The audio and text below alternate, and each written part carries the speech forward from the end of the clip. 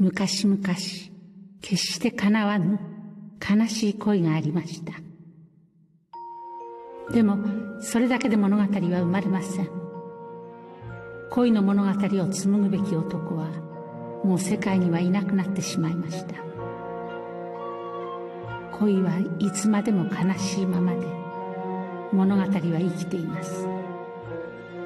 紡ぎ手のいなくなった物語はその結末を求めて samael rutinas.